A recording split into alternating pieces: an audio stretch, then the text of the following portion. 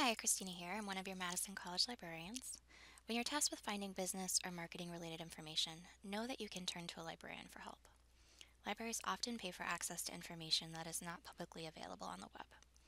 They pay for access to published journals, magazines, and databases, and often reports that are written by researchers and industry insiders. It is the job of librarians to help you find, evaluate, and ethically use information, whatever information you may be looking for. Whether it's finding marketing articles, demographic data for your target market, company or industry information, we'll do our best to track it down, if it exists, in published sources, government databases, free public websites, and the deep web, or elsewhere.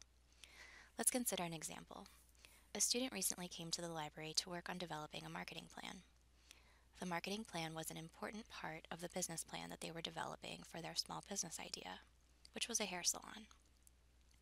They set up a research appointment with the business librarian, and the two sat down to talk about the information they were looking for.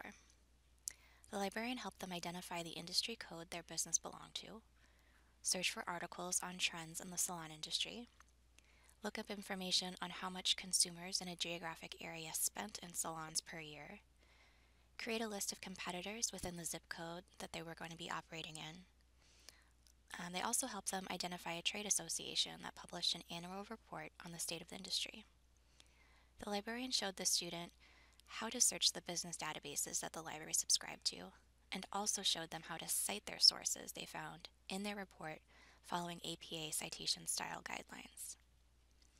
While the student came to the library in person in this example, they could have also called on the phone, emailed, or set up a web teleconference.